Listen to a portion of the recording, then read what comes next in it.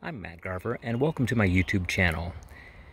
Since moving, this is my new condensed garden.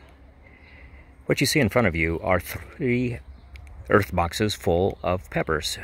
The uh, fourth earth box has petunias. In the back row, there are 14 gallon drums, two of which are being used for Kratky non-circulating gardening. The middle drum I have converted over to a watering system to automatically water all of these earth boxes. First, I'll give you a quick overview of what I'm growing.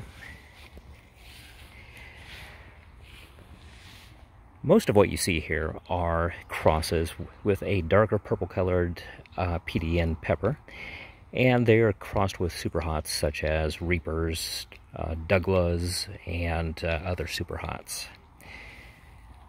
The next box that is over in the middle has rocoto peppers, as well as some uh, other miscellaneous crosses.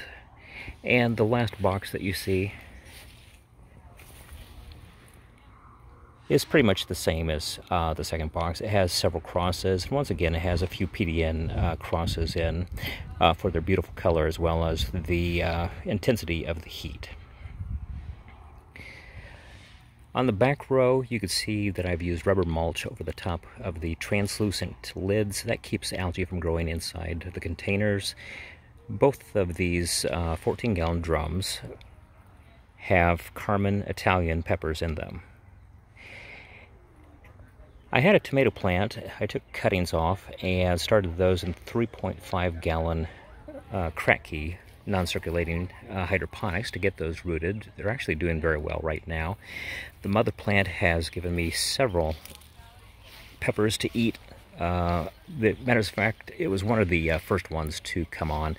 And these plants were actually uh, a good two inches shorter than what they are right now when they started to produce. Now, the interesting thing is uh, on the top of this drum, I can pull out this net cup and put water inside of it. On the opposite side of it, as we look over the top, you can see where I used a 10 millimeter drill bit to drill a hole in the base. I inserted a quarter inch rubber top hat grommet and ran quarter inch Mr. Landscaper tubing into that.